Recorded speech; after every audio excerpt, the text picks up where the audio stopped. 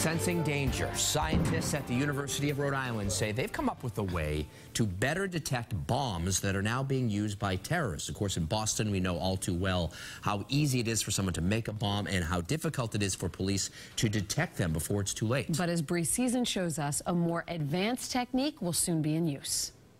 Fire in the hole!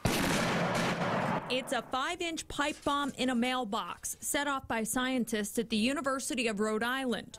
From a safety bunker, we witnessed the damage that can be done with household chemicals. It's hard to shut down legitimate chemicals. Acetone and hydrogen peroxide are legitimate chemicals. Dr. Jimmie Oxley, a professor of chemistry, demonstrates TATP in a quantity much smaller than the suicide vest worn in the Paris terrorist attacks. We talk about chem bio, we talk about nuclear.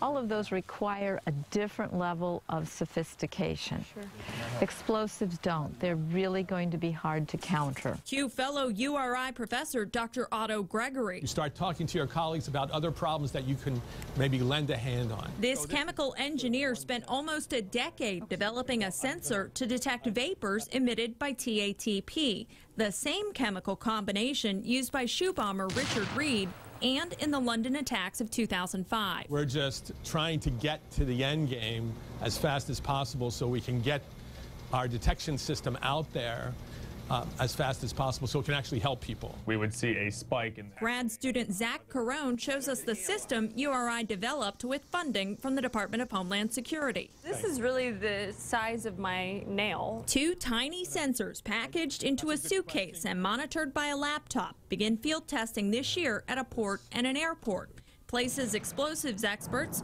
say need the kind of clarity provided by Dr. Otto's device. It reduces false alarm, and that's really what's special about his sensor. In Kingston, Rhode Island, Bree Sison, WBZ News.